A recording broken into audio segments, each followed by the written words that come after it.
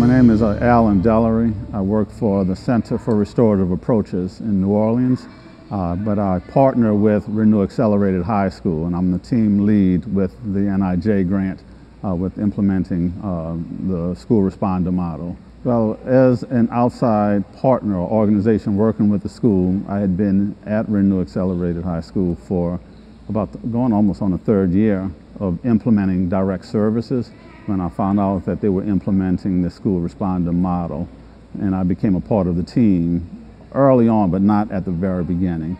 Um, so because the work that we do with restorative approaches, and there's some elements of restorative approaches that are part of the school responder model, we thought it was a good fit uh, for me to get involved. So it kind of evolved from me being just the direct services uh, that I was providing to us having a team that's really looking at what are all of the elements that we could put in place. So the first step that we did was really receive the training that was given to us for us to be able to assess what the critical elements of implementation were.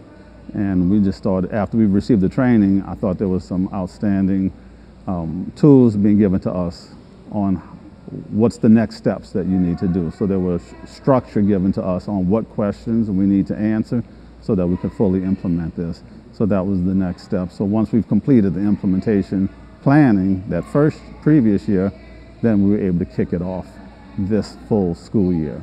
So we really had good time put in place to think of a plan and then implement it. So it wasn't a rushed process. I'm going to look at two uh, biggest outcomes that I think we've had. And um, one is, while I was, as I said before, I was providing direct services, they put a plan in place on um, um, instilling restorative approaches from a staff or whole school approach. So it was taken from just one person doing restorative circles or conversations to the whole school thinking of how do they have restorative conversations to really help deal with some issues that may have been going on in the school so that students are not just getting suspended, uh, but they're having an opportunity to figure out what's been going on and giving the students a chance for them with the teacher and other school staff involvement on coming up with a plan on how to make things better. I was really involved with the mental health side of what the issues are with the students, but we implemented the, uh, the screener.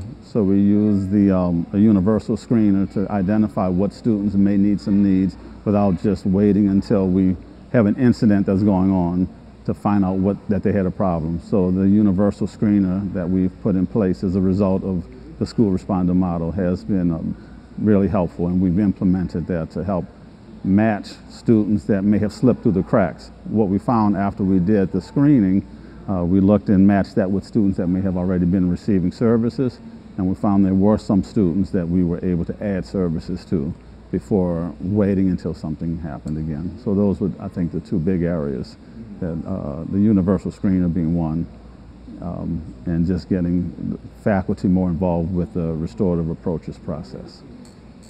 In terms of how CRA has been involved with, uh, and the whole team involved, been involved with dividing up tasks, uh, each of us had special roles that we knew our expertise. So we have the school counselor that's on the team. You have the dean of culture, or you may say dean of students, uh, that's on the team.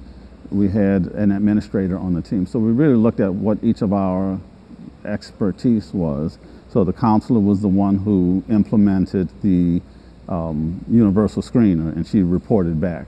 That wouldn't have been my expertise or my area. I was involved with restorative approaches, so I was the one able to do trainings related to restorative approaches. With their assistance, we worked together on professional development for implementing restorative approaches. But our administrator is the person who was providing the data for us so that when the implementation team did meet, we had data that we were able to look at to help uh, assess how we were doing and what next steps might be. So again, each one of us had a particular role. Uh, our Dean of Students, Dean of Culture, was able to kind of report out on what was going on in terms of behavior issues that were happening in the school and what steps he was taking and how that was going as we considered it being a part of the school responder model. So we each, it was easy for us to think of who might be the best person to be the lead on the activity or task that we came up with. When I first started with the school, it was me providing direct services so that if there was a conflict or a fight that took place, they referred it to me. Uh, but the transition that has happened, and we're thinking about sustainability, is that we trained, or I trained, through Center for Restorative Approaches, trained staff to be able to implement it. So now I am doing less direct service. I'm still available if there was a case that they thought it was better to have an outside provider perceived as more neutral that would be able to do the restorative circle, then I would step in and can do circles like that. But it's less direct service now and more just helping with the implementation planning with the team. We did professional development and trained teachers. The, uh, the implementation team came up with some policies and procedures that teachers can put in place on when is something going to be handled in the classroom and how, what steps they would take uh, with incidents in the class and then when they would refer to the administrator to implement some type of intervention.